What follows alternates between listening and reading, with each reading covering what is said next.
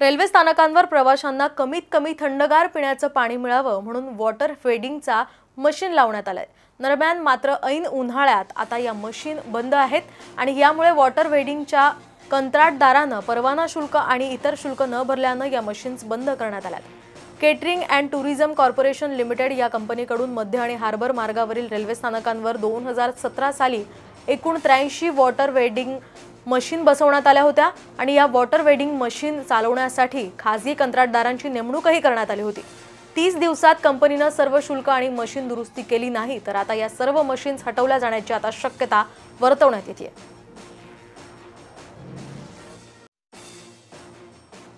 दोन हजार सतरा साली रेल्वे स्थानकांवरती मुंबईतल्या हार्बर आणि मध्य रेल्वेच्या रेल्वे स्थानकांवरती हे मशीन लावण्यात आले होते.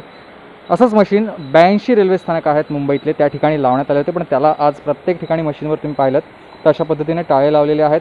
कारण होतं अगदी कमी किमतीमध्ये स्वच्छ आणि चांगलं पाणी मुंबईकरांना किंवा प्रवाशांना मिळावं यासाठी हे मशीन्स लावण्यात आले होते कंत्राट त्यासाठी काढलं होतं. त्याच्यामध्ये अगदी तुम्हाला दोन रुपयापासून ते पाच रुपयापर्यंत कमी दरात स्वच्छ आणि चांगलं पाणी दिलं जात होतं. पण गेल्या काही महिन्यांपासून लॉकडाऊनच्या काळामध्ये हे मशीन बंद झाले त्यानंतर हे मशीन्स बंदच आहेत.